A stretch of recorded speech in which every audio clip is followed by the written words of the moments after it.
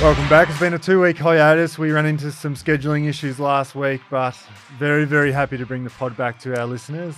My name's David Mundy. This is the Old Bull Young Buck, and with me is my work colleague, young Griffin Logue. How are you, mate? Colleague, it improves every week, mate. From mate to colleague, acquaintance. What next? But nah, good to be here, mate. Good to see you again. Um, you too. You too. here we are. Last yeah. week.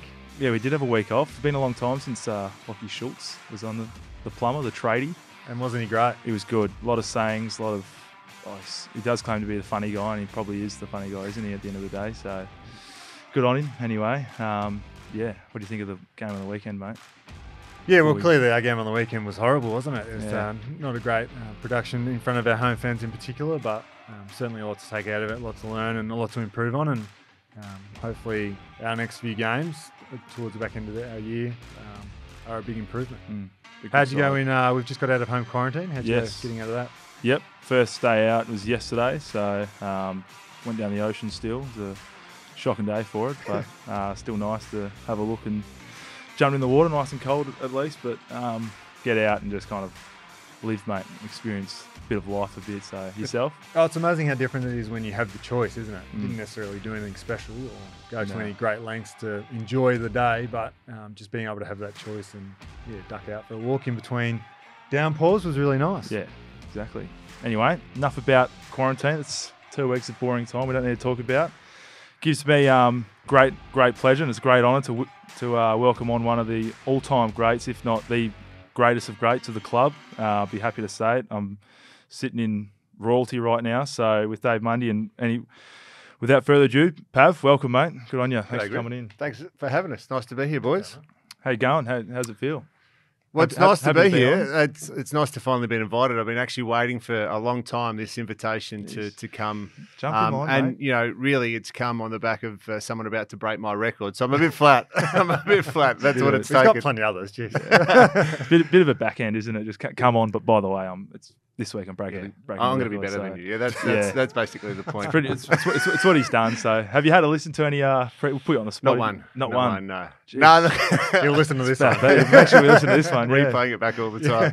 Yeah. No, no, I have. I've been tuning in. It's been uh, a very successful partnership. Congratulations to the two of you and to the club Yeah. to bring this all together. Um, nice initiative, and it's good to get sort of some of the backstories of not only the current players but lots of the old guys that have, have come back through. Um, you know, it's always a good way to to get some more interesting stories and flesh out some of the detail as compared to just being bite grabs that normally exist um, in day to day media life, which uh, I'm a part of these days. But Mm. uh, it, it's good to, as I said, flesh out some of those old stories. There's been so, those um, past players have been some of my particular favourites. Des Yeah. Headland in particular, and, and Josh Carr, some of those stories. So yeah, it's nice to be able to bring those to our followers. Yeah, we touched on it before, but Desi's ability just to kind of rattle off. You give him one kind of anything, and he'd have a whole backstory, a whole kind of different swing on anything, which is great to kind of listen to. Especially, I didn't have much to do with the club back when he was drafted. I was only just born, so it was good. Just Thanks for reminding us, mate. Yeah, we're on, old. mate. Yeah, yeah. Come on, I got, I got to have sound enough on, on this table. I got to have sound. I got, I got youth. It's about it here. So, um, what a day. Anyway, um, aside from having a great man on, uh, we did see some big news this morning. One of Fremantle's, uh, yeah, greatest sons, uh, Stephen Hill, hanging up the boots. What are your thoughts on that? That's a sad day. It really Yeah. is. Um, I mean, I loved playing with Stephen Hill, and I think that's one thing that all of his teammates would have said they loved playing with Hilly. Uh, and so it's a sad day, I think, for all current and former players Mm. uh, who played alongside the number 32, not to see him running around ever again. Um, you know, I remember first meeting Stephen, and he walked into the club probably 68 kilos, um, this sort of flock of, you know, almost curly long Ah, hair. Um, but he just ran like the wind. Like it was just this incredible and just used the ball really well. And you just knew it immediately that the club had found a player that they, they needed and that we required at that point in time. Um, and, you know, played 23 games in his first year. Um, remember the Derby in, in 20, uh, 2009, uh, his debut um, Derby, sort of about three or four bounces, a big long raking goal from outside 50. And we knew we'd found a player offensively. But what I think isn't well known, um, but should be well known, Yeah. is what a great um, defensive player he was, and what a great c- coverer um, of backsides that he was for for his teammates. Any time that you were caught out and you said Hilly, he would just immediately react and, and cover cover your own uh, man or, or you know, get in the way, intercept. He was just such a great team player. Um, became a real professional and someone I, I admire a lot for the way he went about it. Absolutely. And he probably had one of his biggest challenges in his career this morning. He's stood up in front of the group and, and spoke to He us. is a, which he's, a, is a, he's, a rare. shy, he's a shy man and doesn't like speaking at the best of times. Well, I saw him on this the way, and I, I think he shared as many words then as he did day one when I first when I first met him. He hasn't changed in that way, and that's where he's different from his brother. I think his brother could uh, talk all day long, talk, Talk underwater, underwater, yeah. but uh, pretty but good. Steve Absolutely. doesn't have much to say. But another thing that you admire about him greatly because he could have so much impact in a group um, by not having too much to say. He, he delivered a lot by his actions. Um, you know, clearly you want people who have a bit of both, but um, yeah, I think everyone loved playing with Hilly for those reasons. Absolutely. And one of the ones in Hilly's career that always comes up is the Geelong goals brought up in his press conference Mm. he's just had. Um, where were you when that happened? I was telling Tommy Sheridan to get out the way. I mean, everyone's seen the footage, Tommy leading into his, his space. I was actually, um, I was down the line, so you know the the, the kick got um, went out to Aaron, and he swatted it towards the boundary line, and I was maybe forty meters down the line, so I could. It was one of those things where in slow mo you can see this thing happening because Lachie Neale comes off. Um, as the ball's being kicked, Steve's about to come on, and I legitimately remember seeing so Aaron go up and angling. I thought, "Oh, this is going to come off." here." Hang and so. I just started backpedaling, trying to get um, Tom Lonergan out the way, um, as compared to Tommy trying to get dragging into him in, the space. bringing them all into the space. Um, and then by the time I think Hilly had, had uh, so much pace up, by the time he got to me, he'd actually got in front of me. I was on the 50 and Hilly was inside 50. I was plotting.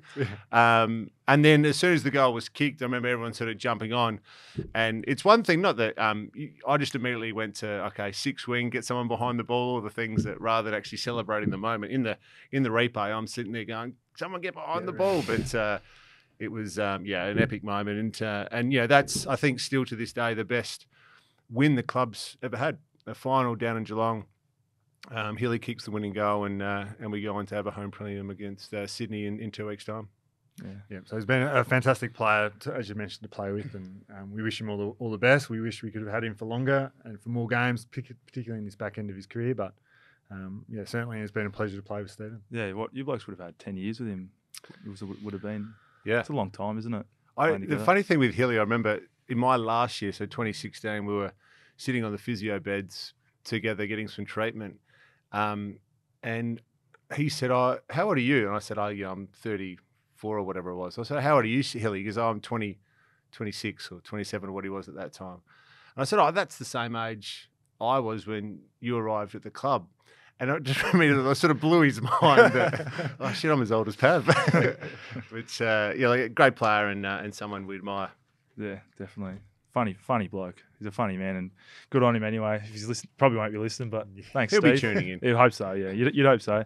Um, aside from this, that big news, it's also a big week all round. Uh, we did say we're bringing you in as a bit of a backhand with uh, Monday 353, but uh, it's one of the biggest items. So we'll be equaling Matthew Pavlich's record of 350 AF, 353 AFL games. So still trying to get my head around that. It's a lot of, a lot of, lot of football between you two. Um, how's it going to work? Do you, do you get chaired off for a for an equaling of the record? Is that No, how? It, no, it's no, not how it works. I wouldn't have thought so. No, No. he has to get past it. do you have to? Do you get? Do you get get past it and then get chaired off? Is another chair off that you're Just yeah, trying to- well, I've got a. I mean, I've said question. it already. Yeah. If I get a chair off the weekend after that, do I get a chair off for every week after that next year? I think you Yes. might. I, think you, yeah. I reckon you might have to. It's in his contract for next Yeah. year. I But get chaired off every week. Yeah, I break the new record. it'd have to be. So, um, how does is, is there a little bit of kind of No, no sadness. Um, I, I think it's great that someone's you know played long enough and and um, had the durability, um, the mental application, and the physical skill to go on and play what'll be 19 years of, of AFL football um, when you go around next year. So, um, and having played with David for a long time and worked closely with him in the leadership group capacity, um, you know, the old uh, there's no one better to take it over. But I, I truly kind of believe that the fact that we had a, a long working relationship with each other, uh, admired the way he went about it, how he evolved, how he how he changed his game, um, and you know, I think it's a significant uh, moment for the club to to realise that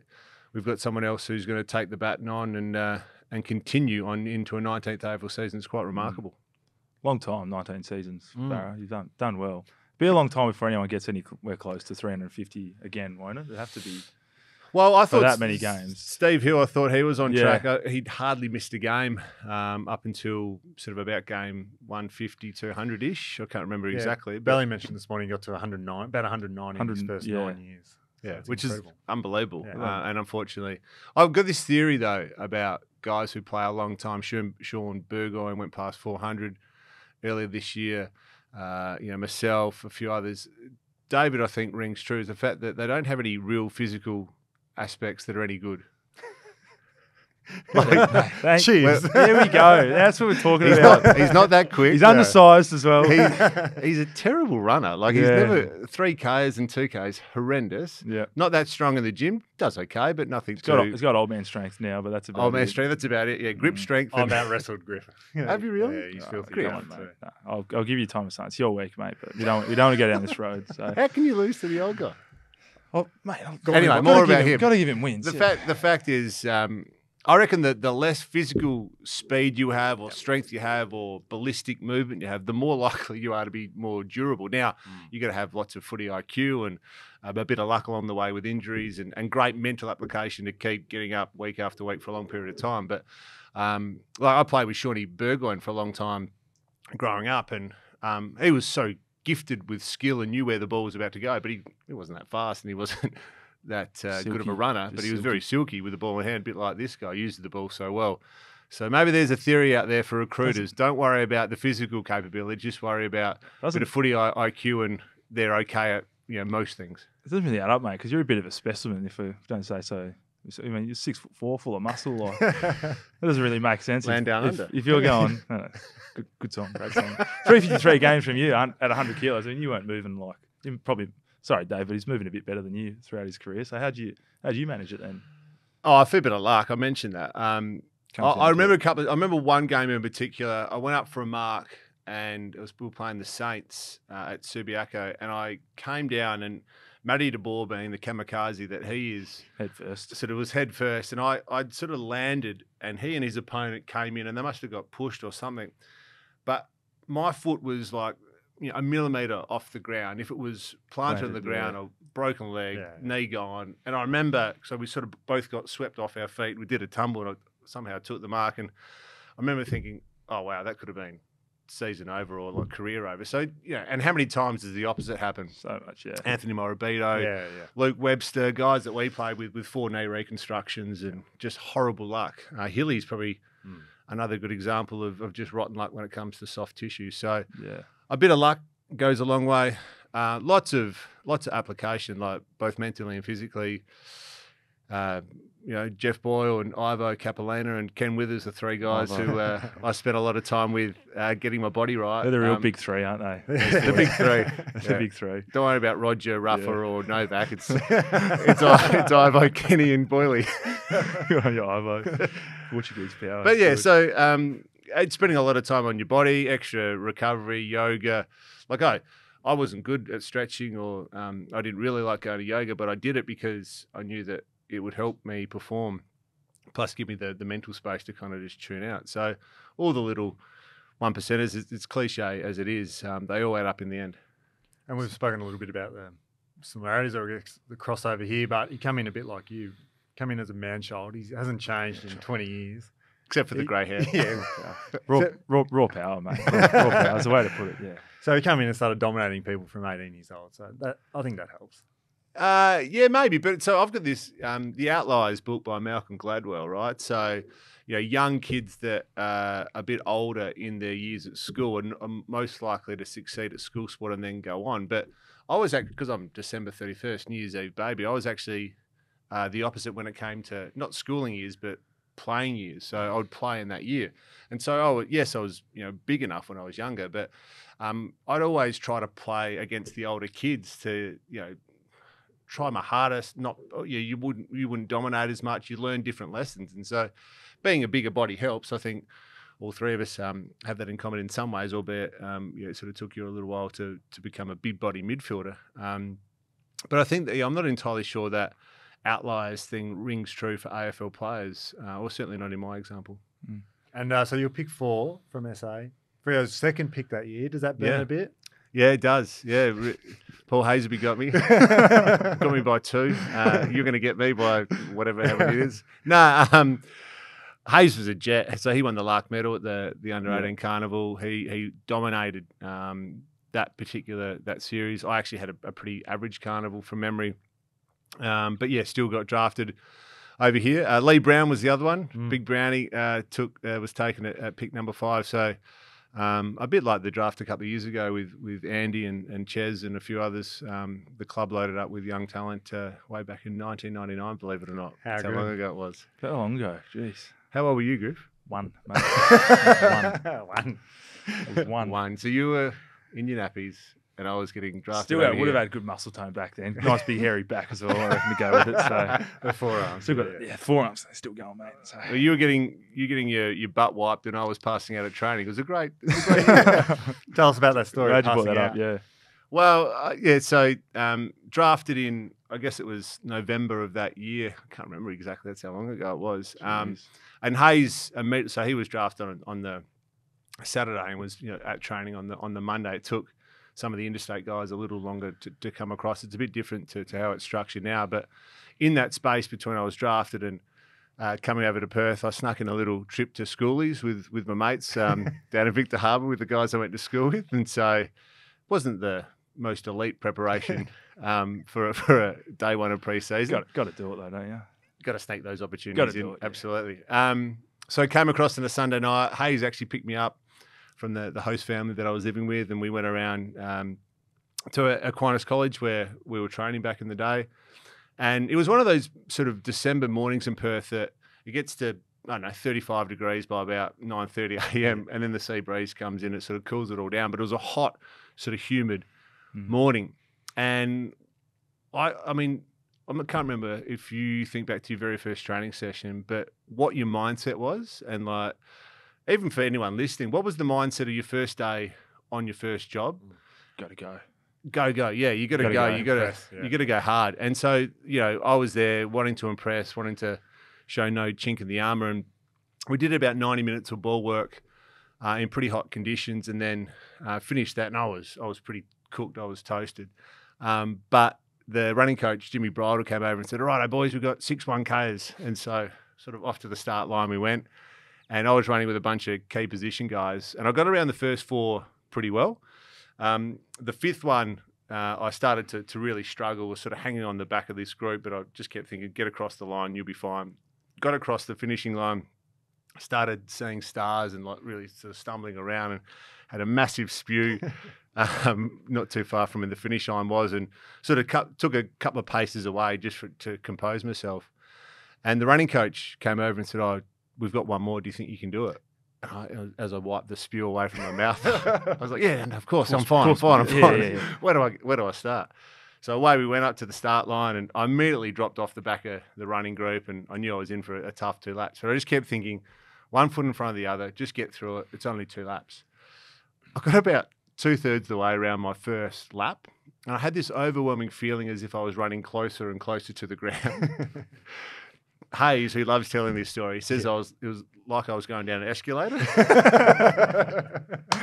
Passed out, I collapsed, and the next thing I remember was waking up in uh, Murdoch Hospital with you know monitoring devices and drips and whatever outside. Of you on the drip. Jeez. with with like the worst headache you could ever imagine. It was like I had the worst hangover of all time. Um, and a couple of players were coming in later that night, properly meeting me as I was in intensive care. So, strange old way to uh, start an AFL career. It's, uh, it's a pretty scary moment. I've had the same story from Jeff Boyle's perspective and, and the medical team at the time, and this big hundred kilo teenager just falling over on the side of the oval. Was, uh, I wasn't 100 kilos. alarm, then, was alarm bells. Yeah, they. Well, and this was the thing. Like, I, I was so embarrassed. I was so embarrassed after um, that happened. You know, I think I had a couple of days off, and then slowly came back, integrating back into the program. Where there was a little bit of weight, so jumping on the bike, and then it actually took me a little while to to regather myself. And I, um, I had this view inside my own head that the guys were, you know, laughing at me. I look what we've drafted, all this kind of stuff. not thinking of all the upside that maybe pushing yourself to the absolute max and showing that you were here and you weren't going to give up and you were going to stick through it, uh, and all the respect that they came from that. I didn't see that at the time. In hindsight, you see it and you hear other guys speak about, oh, geez, we, we've got a good one here. But Yeah. at the time, you're like, oh, this is Yeah. awkward. So from those beginnings, then 353 games, 700 goals later. It's not a bad uh, resume you've constructed. Yeah, and, and went through lots of different places on the ground. And I, I think this is the other thing for someone who who plays a long period of time is um, creating variety in your own game so that it's hard for you to be dropped is is not a bad thing. Yep. Um, but also uh, creating variety in your game. So when you're um, playing in different positions, you get an appreciation of what it is like playing key back Mm. when you go back playing as a key forward, or when as a midfielder you've got some empathy for the backline players because Yeah. if it waltzes out of the middle and someone can lace out the forward, you know you understand what it means for Griff when you're playing the back. So that overall perspective of what it means, every working piece of the puzzle on the field is actually absolutely critical. And if, if one little chink or one little aspect of that puzzle isn't in place, then it can really tear it apart. And I think that certainly helped my longevity, and it also helped me um, play at a, at a high level for a, a period of time. Is that high understanding of the game something that you always kind of knew that you had kind of growing up when you're getting drafted? I mean, obviously, Yeah. the ability to be, be an All Australian at all three positions is not talked about enough, to be honest. Mm. But I mean, you honestly must have to understand the game so well to be able to do that. Is that something that you have always known? Yeah, I mean, I, so Dad um, was a SANFL player. He, he coached in SA, so he he taught me the game, uh, and he taught me from all different aspects. Really, um, I, he tells a story. My first ever game in year two, it was. I think you know, I'm not sure what it was. There was no Auskick back then. It was you had to sort of wait. I think I played a couple of years of soccer and basketball, and then I finally got a, a gig to play uh, in, in in footy, and um, and he talks about um, quarter time of this first game that I ever played. I'd like come in, I was like sweating profusely, I was like red faced, and I was like out of breath. And he said, "Oh, maybe don't try to get to every single contest. Just try to get to. if you can't get to the first one, maybe get to where you think the ball might be going." And he he kind of talks about it as this sort of blasé off the cuff sort of comment, but somehow you know um, through his teachings or or an eight or whatever it may have been. He said, I, I, I started to pick up, you know, if you can't get to A, you can kind of get to B, Yep. which is What what we heard yeah. uh, later on in our careers. But um, so look, I think his those foundations of, of football and what it meant were, were through him.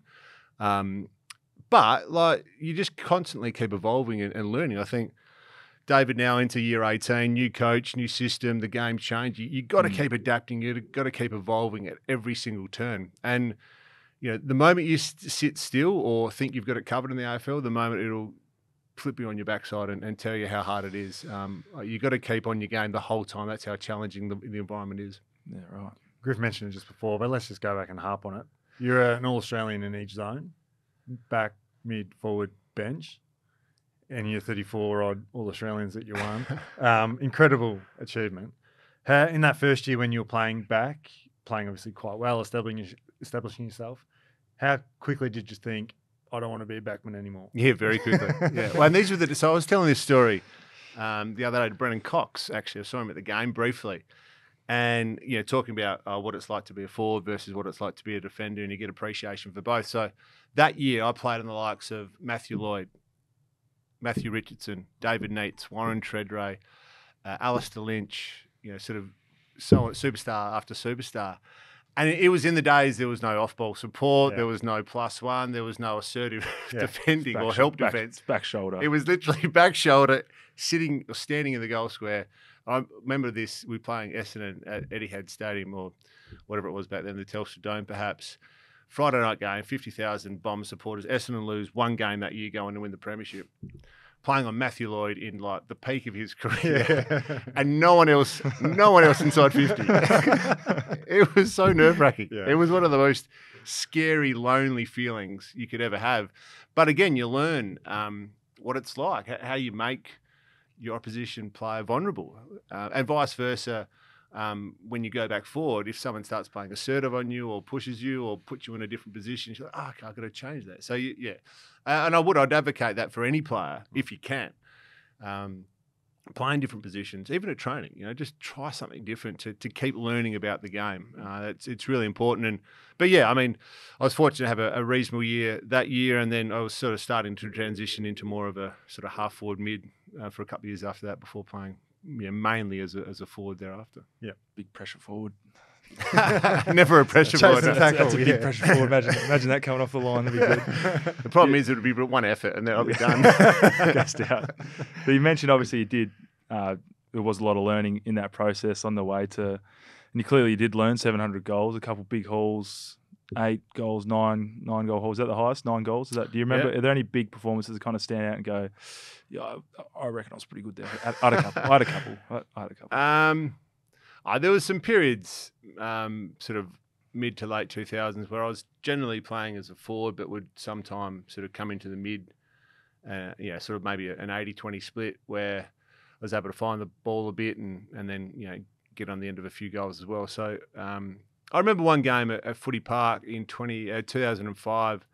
Um, we had lots of players out. I'm not sure if you remember playing this game. Might have even been um, your Rising Star.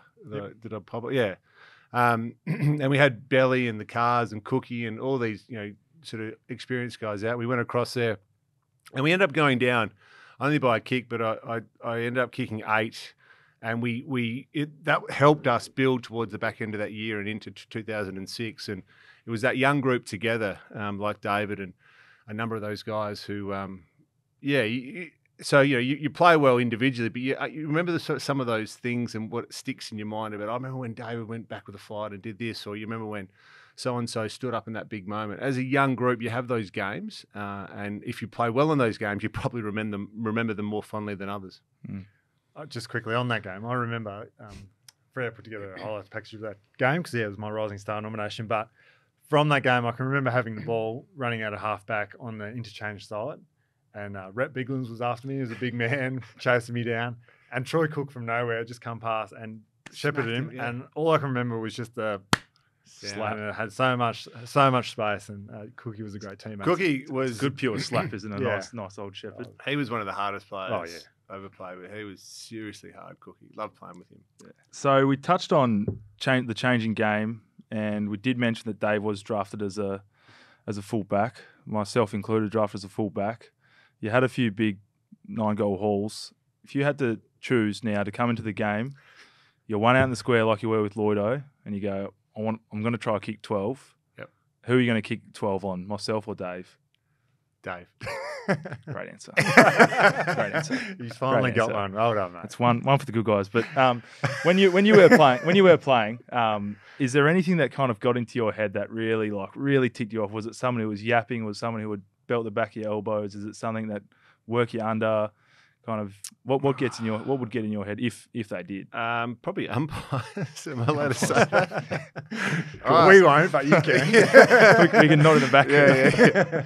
yeah. um, yeah, and opposition crowds like every now and then. I used to love playing the away derbies. I used mm. to love um, running out with you know Subiaco fully packed with West Coast supporters and and you know and going on and, and being a dominant force and winning those games. That that, that was always nice. Um, but yeah, the umpires are one that always I, I, and I knew at the time that I shouldn't be having a go at them, but I knew at the time you're going to stay in the moment and, and, and not be distracted by a bad decision. But yeah, that, oh, there was. I mean, yeah, no one really ever said anything or did anything that really upset me. I mean, yeah, it was. Uh, you build up a pretty thick skin, uh, and but when I first started, it was pretty brutal. Like you know the the punch on with Guardy in the in the square back in my first year. That's, I got knocked out. That's great. That's great. that's great. There wasn't much punching. It was just getting punched. Um, and then, you know, that later that game, uh, Ashley McIntosh and Jacko claimed me. I was knocked out. So, you know, I played in some brutal mm. early um, sort of years of, of what it was like. And it changed a lot. Players players these days are much harder than when I played. It's just a different hardness or a different – they, hardly anyone ever takes a short step. Hardly anyone doesn't go back with a flight. You see it every now and then, but much uh, less regularly than you did, um, you know, twenty or thirty years ago. But it's mm. different because, um, you know, you could literally punch someone and you wouldn't know mm. um, back then. Yeah, with no cameras around. Yeah, yeah. Yeah, you would have come through that progression of. I remember when we got the first down the ground camera at training, Yeah. and I remember the look on everyone's face was like, "Oh no, Can't hide anymore. Yeah, move, move." It, wa- looking at the well, it was about 2005 where Yeah. the behind the goals footage for the um, for the game started, and I remember as a forward, you know, emptying out. What do you have to empty out for? Like, they'll be right. The defenders they'll be fine. and then all of a sudden you realise, oh, get the kicking board. So it was about this, you know, as soon as the ball's turned over, you have to empty out and get out. to the other end. Um, yeah, but that, the behind the goals footage was the, and people talk about um, laws of the game committee and the AFL changing rules and. It, yeah, they do, but it's on the basis of coaches having all this footage and all this time to train their team to be elite at their craft, and therefore the game is so much different than it once was because it's become full time professional and there's all these different cam- camera angles that never existed before. It's not the fact that the AFL are just changing rules. Yeah. The yeah, is it? Uh, what's the catalyst? It's the fact that you know, coaches and players are, are better at their craft. And uh, another one that really um, springs up when talking to some guys of the era uh, in your time at the Freo Footy Club was uh, the pristine story. Do you want to run us through that one? Yeah, so uh, yeah, this is a beauty. I think everyone, everyone dines out on this one, including Ross himself. Uh, he, he uses this in every corporate gig he Yeah, speaks at these A days. bit more mayo every time. yeah. So we were. Uh, it was 2012. Um, Ross's first year at the club. I think it was uh, round six. So I think we were four and two. We'd started the season pretty well under under Ross, uh, and we headed up to the Gold Coast. Um, you know, new team early in the season. I think it was one of those trips where you you guys probably. Um, given the, the last two years, you, you don't care how hard it is given your travel and your quarantine. But we uh, fly to Brisbane, drive down to the Gold Coast, sort of stay there, and that sort of it's a bit of a bit of an epic trip. Mm. Anyway, we we um, playing the Gold Coast. Uh, we're sort of in the game, but not not going that well at half time. And Ross comes down just breathing fire, um, and he sort of like says a few things, and everyone sort of breaks off, and um, and you know you, you know it's coming this this sort of half time um, crack at some point. But I it was one of those Gold Coast um, days. It was hot and slippery and humid, so I came in, took my kit off, you know, got re-strapped, the whole thing. Um, wanted to dry off because I was just dripping with sweat, and as a forward, like you know, any any type of slippage, you got to drop the mark or whatever. So do all that. Everyone has their little line meetings. We go into Ross, and Ross was saying, you know, if the team wasn't performing, you always started at the top. And so he looked at me. He's like, "Where's our captain?" And like, you know, sort of looking around for me. I was sitting right in front of him. Here, Ross. he said, "Have a look at you. You look pristine. Not a bead of sweat on you." and you know, he just kept going and going. And I couldn't say, "Oh, you know, mate, I've just Mate, had a towel down. I had a quick shower. Just changed the jumper. Relax, just had to cop it." And anyway, we go out, um, win the game. Uh, you know, sort of feature. I think late in the game with a goal, and you know, feel. But we walk in, and everyone was so flat. Uh, it was Sperry's first game. Uh, he hops in the middle. There was no Powerade shower. Everyone sort of sung the uh, the song with without any real gusto. Or, um, and then and then so after the game, Bondi I think had caught um, Ross and said, "Oh, geez, you better just check in with the skip. He might be a bit flat after the half." I was like, "Okay." So anyway, we jump on the bus together from the Gold Coast back to Brisbane. And I'm sort of not feeling great about myself. You know, we won, but you know when you anyway, didn't feel great. And then he literally just sat down. He didn't. He didn't say, "Oh, what about the thing at half time? Yeah, sorry." Or he just he just told me the whole story about how he exited St Kilda and came to Fremantle. so for the next seventy minutes, I had Ross just chill me ear off. I hardly said a thing. But that was his way of apologising. Yeah. no, it was a good story. It was a great. Story. Great, great to be there. And another one that's also come up is um, I've got a story about Ross with you and a beanie. Can you remember the beanie one? From yeah, Duff? another one's come up already. Oh, yeah, that one's come up. Okay. Yeah. Heard that one. yeah. No, we, um, this is about you, Pav. This is Ooh. your. I thought you're this was our about you. No, this is is yours, you're mate. our guest. Let's mate. make it about Griff. Another one that came up, um, reaching out to some past players, is your um, connection to South Australia. You're obviously more of a WA person now. You spent more time here, Yeah. married to a local girl, great young family. Um, but your love for the SA never went away, and the the young guys coming across in particular received that. Yep. home invites for cook dinners and um, sleepovers when re- when required. um, Griff was a bit put out. Yeah, I was gonna. I was just mentioning how much of a privilege it is that you've sat down with us for now that we are WA blokes. Any love for the WA boys, mate? South Australia, you just you just love them so much. I mean, you, well, you wouldn't have wanted to listen to the last couple Well, of podcasts. Me bloody paying out South Australia, so I'm glad you haven't listened to them. I stayed here for 21 years. Isn't that enough love for Yeah, WA it's- people? it's no, look, it's probably long um, the- um, I loved, yeah, that connection you have with someone that you grew up with that's come across from interstate with, and some of the young- young Victorian blokes as well. It was always good to have them um, around home. But yeah, certainly the, the guys that were drafted from Adelaide, you got that connection. Um, you know that what, what it's like, and uh, and yeah, nothing against Victorians or WA or anyone else from around the country, but there was a strong connection there. And it goes beyond the playing group. Um, Adam Reed, good friend of yours Yeah. growing up, and um, he's actually shown everyone this video. I think he's come through the four walls. But do you want to talk us through the cricketing video? Well, yeah. So Adam and I, um, Adam was best mates uh, at Kindy. So the first day at Kindy, he and this um, one of our very close family friends, David Floriani, they met at Kindy. They're both a year older than I am. And he happened to live around the corner, and it basically started this lifelong friendship between Adam and David, and, and therefore me by connection. really? And and so that we all, yeah, it's hard to believe, isn't it? Oh, yeah. we all, you know, every every afternoon or every summer, it was like, you know, um, BMX riding, cricket, footy, basketball, golf, tennis, like whatever it was, and it always to do with sport, just being outdoors and trying to outdo each other. And being a bit younger than those guys, I was always trying to, you know, beat them at, at everything we could, and it included cricket a lot out of uh, Adam Reed's front front yard, um, and yeah, used to tape the ball up and you know sort of do the whole thing and this this piece of vision. I don't know why. So he, he was always he was always fascinated with film. He was studying film at uni years later and whatnot. So he, he would always film um, the matches, and whether it was for his own viewing later about what he had to improve upon or whatever, but or Ultra, ultra professional, just reviewing. voy, voyeuristic, perhaps. I don't know Yeah. what uh, what he was on about, professional. But um, yeah, a big in swinger that uh, got me out, and I was wasn't too impressed. yeah. Well, let, to expand on We're not going to show that video to the people, are You, we? you glossed over the big in swing very, very quickly. I've heard it was an absolute peach and just.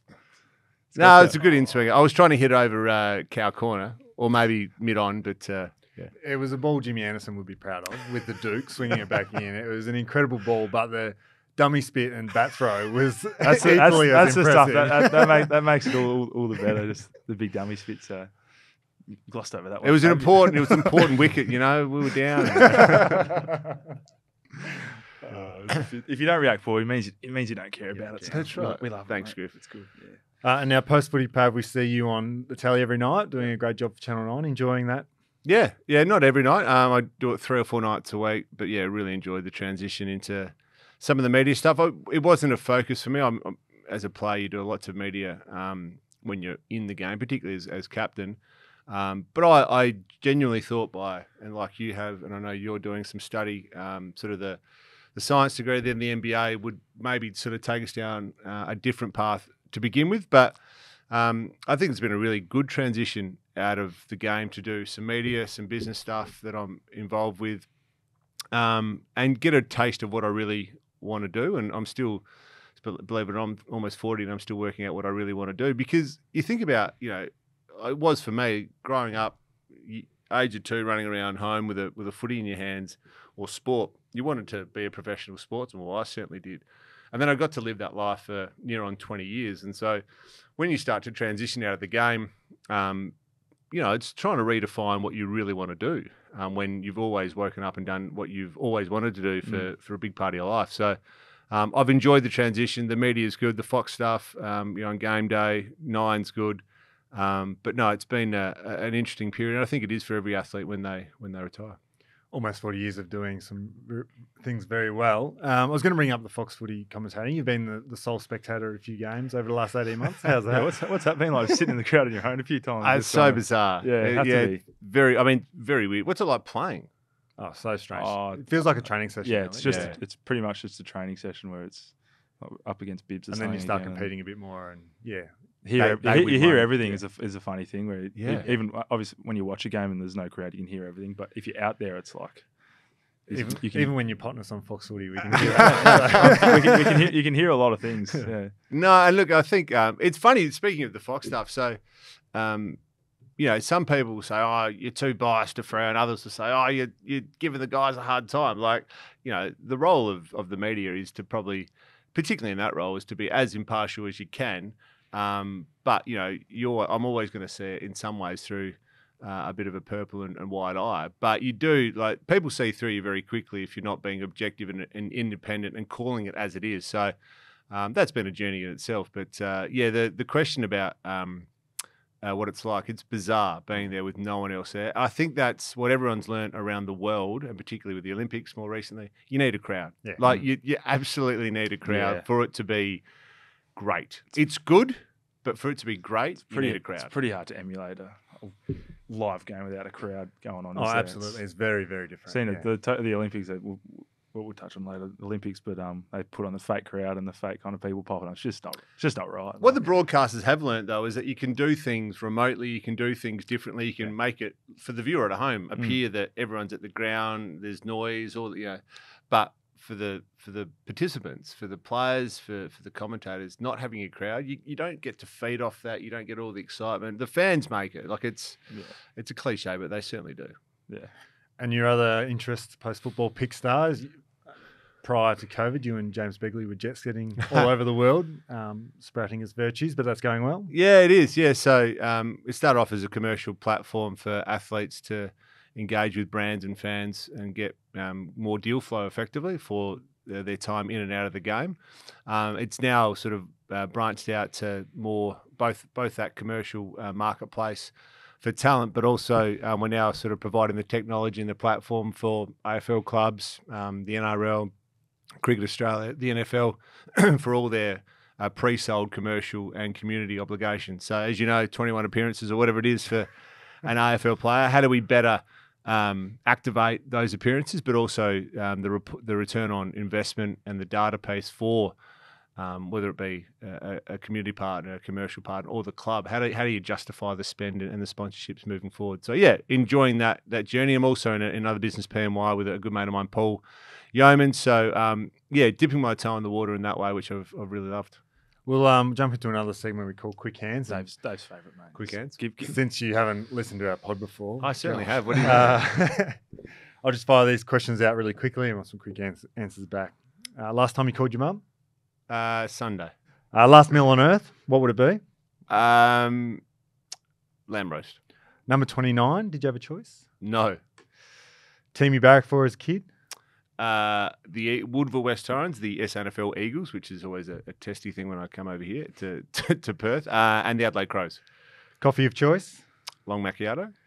Um, most used emoji? You know, um, probably either the the guns, like the the fist, or um, sort of the one that's got that smiley, like you know, so look sideways. So I, I don't know what you call that one. We'll Uh, find it. We'll show it. The It's gun here, one? it's The gun one, is it a generic yellow or do you put a bit of a tan on No, it? put the tan on Yeah. it. yeah, yeah, got it, got it. First car? Subaru Leone, Now, current current drive? Kia Sorento. Thanks, Kia. Uh, where did you sit in team meetings? Uh, so second row, and you're in the row. Hmm. Uh, three from the left. Next to who mostly? Uh, or Tendai Mzungu to, to finish. Uh, who was to my uh, Jack Hannath Jack Hannath, to yeah. my, and you were on the right. Yeah, not much shoulder room there. there wasn't no. Did you ever play an AFL game in the long sleeves? yes, one. 2004, round 20 odd, uh, Geelong, freezing cold. One of the like, on the you know on record, sort of one of the coldest days in Victoria. It was three degrees, pouring with rain. Um, so half time, come in, and rather than having a shower to look pristine, uh, having a hot shower and dipping your hands in hot water. Can't- that, that bad. It was jeez. it was absolutely so no no Powerade no Gator. It was like give me a cup of tea or a coffee because I'm freezing. It was it, it got smashed as well. It wasn't much fun. I think it was that game that um, Jeff Boyle had the radiator vest um, Yep. developed for us, which was just yeah a vest like a wetsuit, but thick, whole body temperature.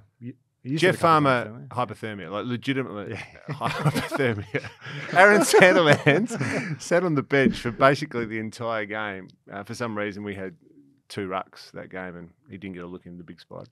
Troy Simmonds would have been the other. Yeah, Simo. Spot. yeah, nice. we touched on the Olympics have been going on, and you did mention that through your uh, adventures with Reedy back in the in the younger days, you played a lot of sports. Is there any Olympic sport that you think you would excel in? Greco-Roman wrestling, Be cool. What what weight class? There's some big boys. 100, Some 100 big- kilo big plus boys, these yeah. days. Um, well, I think look at my legs and look at my ass. I think I'd be yeah, that'd be sort of my go. Um, I did it. We went out for dinner last week. We did that around the table. What would you be most like? Like, what's the most likely chance you've got to represent Australia in, and what would you love to to, to Mm. do it in? I, I the one I'd love to do is the 400. Like I reckon. So the 100, everyone wants the 100, but pretty like the 400 to be 400 meter runner. I think I just go. I think back to Michael Johnson, like Olympics 2000. That that would be my want to. Um, most likely, yeah, Greco-Roman wrestling. Okay, right. Big, big You strong guys? boy. You, what do you what do you be, Dave? Oh, what would I Archery- be? Archery. yeah, I don't know, ten meter pistol or something. Yeah. Oh, just Griff, ath- you'd be a s- athletic sprinter? beast, mate. Yeah. No, Decathlon. Decathlon, yeah. Ah, Jack, jack of all trades, master of none. Just get through it. Get, get, get, a- few points. modern pentathlon, like sort of. Uh, that's a bit like you know because not the quickest, not the strongest, just accurate. the most cunning. Would be, Yeah. would be, it'd, it'd be all you, Dave. So, um, it was retro round couple of weeks ago. Did you, you boys would have both would have donned the famous retro No. jerseys? No, you didn't. I didn't. No, not the green. That was No, early, never. early days. that was before. Yeah, believe just- it or not, Griff, just me. before my time. Just me, just me. I was new to it then. It's great. But we, I've, I mean, I saw somewhere on social media someone had all your jumpers or you know the I variety. saw that as well. Yeah, It's like about spooky. fifty of them, whatever it Yeah. was. Um, yeah, you, you're playing a lot over your career. Yeah. Um, um, where do you keep them? Have you kept them? Where are they? Yeah, I've got a couple of co-hangers full. We normally get a couple at the end of the year.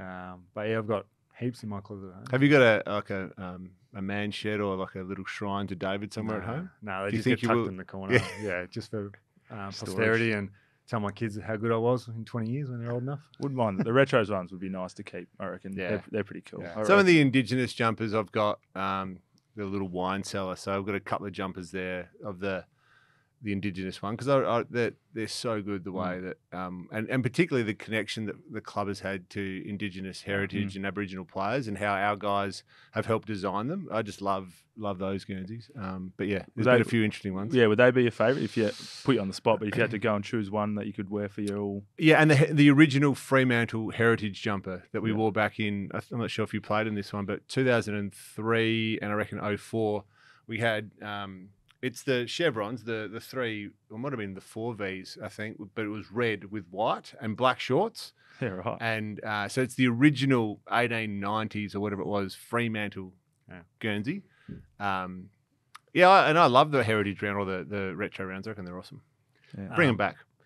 Well, we saw another one of your ex teammates, our current GM of footy, Peter Bell, rocking the green, uh, the woolen with the collar, jogging across South Fremantle over, I think it was. Uh, I, reckon, I reckon they're great. that's There's a lovely photo. a lot of co- copped a bit of flack for it. I reckon. I think. who was I it? think bringing him back for um, a a round each year is great. Yeah. Like it's a it's a great recognition of of the past.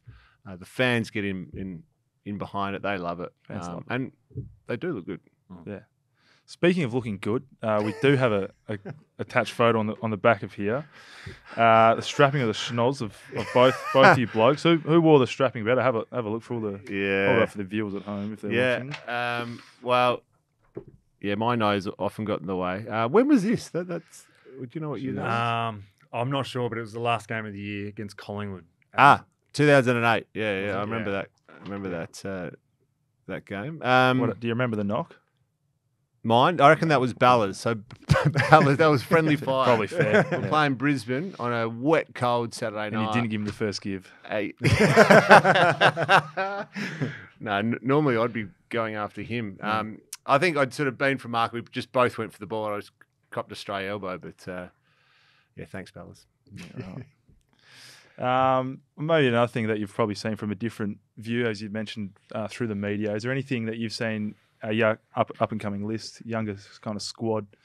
Anyone that you really like the look of? The young young core is probably the ones that stands out for me. Like uh, Barry, you would have you played a lot alongside him. The Brayshaws and Serongs, Yeah. Is is that something that you kind of look at now and say, geez, they're, they're going all right? Yeah. Um, no, I think there's, and I don't just say this, but I, you can see that that young group are coming through together. Um, yeah, even how long have you been in the system now? Is this your Feels a long time, mate. Feels Fourth like year? feels like twenty five. I think five, years. Five yeah. years. So even back to you know whether it's yourself and that young cohort of, um, you know, as in inexperienced Luke Ryan and Brennan Cox, sort of that, that group down back. Uh, the young brigade in the midfield, led by Sean and, and Andy and uh, Caleb and Adam.